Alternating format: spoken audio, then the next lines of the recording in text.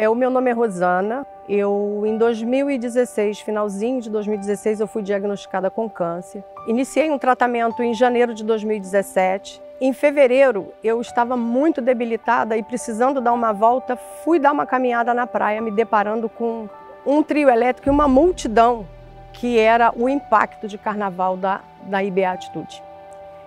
Eu parei para assistir aquele, aquela multidão louvando, é, agradecendo a Deus e fui abordada por vários jovens da igreja. Me pediram para orar comigo e me ofereceram um copo de água.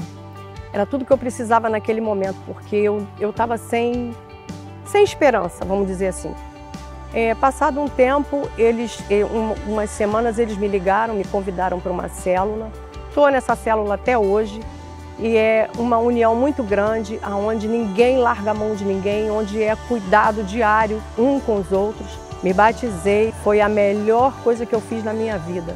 É, eu digo até hoje que esse, esse impacto de carnaval, as pessoas às vezes rotulam a gente, ah, tá lá na rua porque quer, é, gosta de um carnaval, gosta de brincar. Não é isso. Tem muita gente na rua perdida, precisando de uma palavra, precisando de um resgate. Então, o impacto de carnaval da, da IBA é para isso, é para resgatar. A cada ano, mais e mais vidas são resgatadas para a glória do Senhor.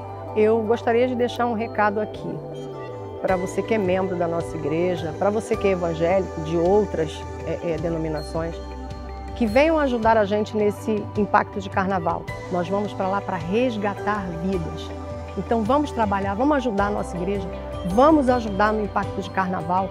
Da mesma forma que eu fui resgatada, tem muita gente precisando de ajuda na rua. E que Deus abençoe cada um de vocês que estiver nesse projeto, porque eu tenho fé que eu vou estar lá também.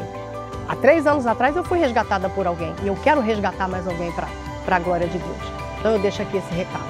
Obrigada.